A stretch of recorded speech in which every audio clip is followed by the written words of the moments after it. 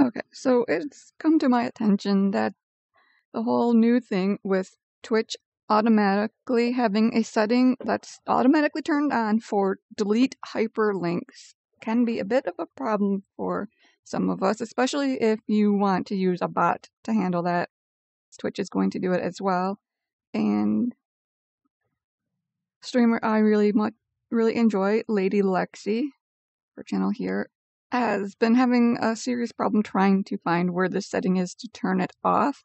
Now, she did say that she is using the, the beta version of Twitch, so it could be possible that it's completely different for her.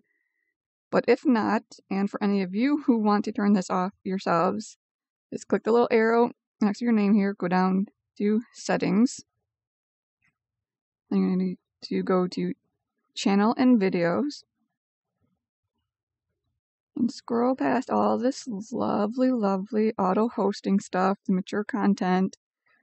Down here in the chat options, you have the automod rule sets, which for me, I just seriously don't need automod thing to do. So I put it down to level zero and told it to opt out of commonly blocked terms. But right here below that is block hyperlinks.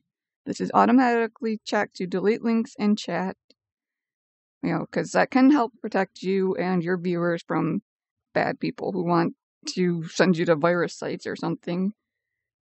But it also causes problems like if you're trying to use MooBot or Nightbot or any other kinds of bots, Twitch is going to be deleting those links on its own if this chat checkbox is marked, which it's on automatically. And will also cause the uh, the command that bots have that will allow people temporarily to post links that will prevent that because Twitch is going to eat it. So it's right here again, block hyperlinks right here below these auto mod rules. If your isn't different if you are using the Twitch beta and if you are and it doesn't have this option here then hopefully you can find a way to go back out of the beta.